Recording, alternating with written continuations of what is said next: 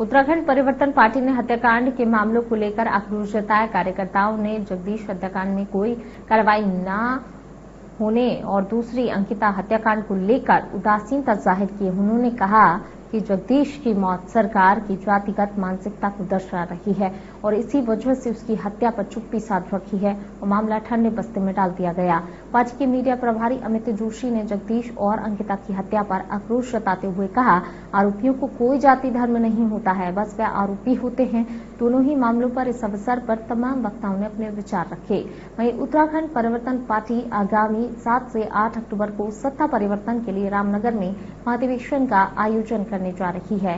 हल्द्वानी से दीपक अधिकारी की रिपोर्ट। एक सितंबर को हमारे साथी उत्तराखंड परिवर्तन पार्टी के दो बार विधायक का चुनाव लड़ चुके श्री जगदीश राम जी की हत्या कर दी गई थी।